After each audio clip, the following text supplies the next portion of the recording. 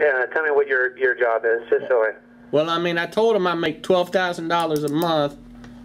My payments is six hundred a month, and he was able go, he was going to be able to get me down to about five hundred and twenty one dollars a month. What's your interest uh, rate on your mortgage right now? I think it's right around six percent. Is that a fixed rate mortgage? Yeah. Okay. Um, are you self-employed? Well, I mean, I, I got people that kind of work for me. I'm a drug dealer. I just can't claim all my money. Okay, cool, perfect, done. That's all you got to say, man. That's it. Then we can get it done. Because for a sec, for a second there, you had me a little nervous about twelve thousand dollars a month on a W two. Yeah, no, man. I'm gonna pocket. I'm gonna pocket me a lot of that money, and I'm just gonna put in there that I make about seventeen hundred. Perfect. You, hey, you're on top of the game, man. There it is. Done deal. Okay, so what's that? What I got to do?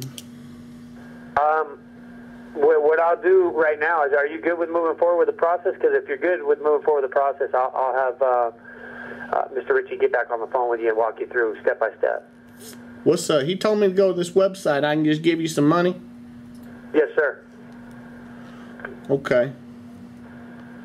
So I don't got to put down what kind of work I do, just what I make, right? Yeah, don't put down twelve thousand a month. Please don't do that. Um, do the seventeen hundred, like you said, and you, all you have to do is just say self-employed.